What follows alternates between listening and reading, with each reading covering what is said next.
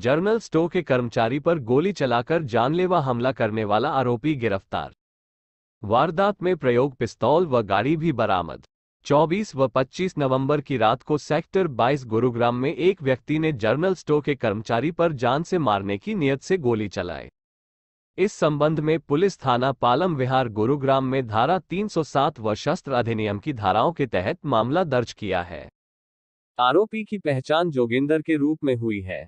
आरोपी से पुलिस पूछताछ में ज्ञात हुआ कि यह सिगरेट पीते हुए स्टो में एंट्री कर रहा था। तभी स्टो के सुरक्षाकर्मी ने इसको सिगरेट पीते हुए अंदर जाने के लिए मना किया तो इसने सुरक्षाकर्मी के साथ झगड़ा करते हुए अपने लाइसेंसी हथियार से उस पर गोली चला दी और अपनी गाड़ी में सवार होकर वहाँ से भाग गया। आरोपी के पास से वारदात में प्रयोग की गई एक पिस्टल, एक खाली कारतूस व एक गाड़ी बरामद की गई है। दिल्ली ग्लो न्यूज़ के लिए गुरुग्राम से सतीश भारद्वाज की रिपोर्ट।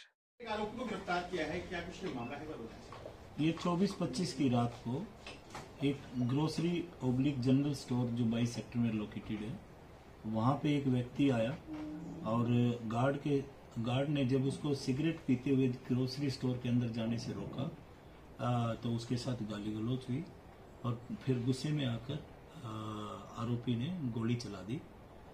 जिसके जिसके तहत ही फिर 307 का एक पर्चा दर्ज हुआ। और क्योंकि वहाँ मौके पे जो फुटेज हासिल हुई सीसीटीवी फुटेज उसमें शख्स की गाड़ी का नंबर हमारे पास मिल गया। और फिर जब आगे इन्वेस्टिगेशन किया तो पता चला कि ये जोगिंदर राणा है जो कि सेक्टर तेईस का रहने वाला है। आज इसको गिरफ़्तार किया है। क्या कुछ उसका रिकॉर्ड है? क्रिमिनल रिकॉर्ड है? किस हथियार से इसने गोली चलाई? इस आदमी को सन 2008 में लाइसेंस इशू हुआ है और तभी से उसने लाइसेंस पे ही ये हथियार लिया है। आ, इसका प्रीवियस क्रिमिनल रिकॉर्ड तो कोई नहीं है पर इसके हथियार और पाँच जो ज़िंदा राउंड थे आ, वो आ, इन, इ, इसकी तहबील से हमने रिकवर कर लिए हैं। क्या करता है सर ये? कितना पढ़ा लिखा है? आ, ये ज़्यादा पढ़ा लिखा नहीं है और अपना खुद का ही बिज़नेस है तो इसका जो लाइसेंस है सर क्या उसको कैंसिल किया जाएगा? फिर क्या है, कुछ एक्शन लिया जाएगा इसके खिलाफ?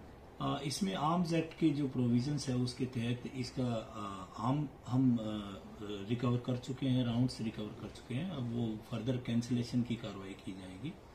आ, और उसके लिए हमारे जॉइंट सीपी सर आ, उसके लिए एम्पावर्ड है तो उनको लिख के भेजेंगे और इंश्योर करेंगे कि इसका जो लाइसेंस है वो कैंसिल हो जाए। ठीक है सर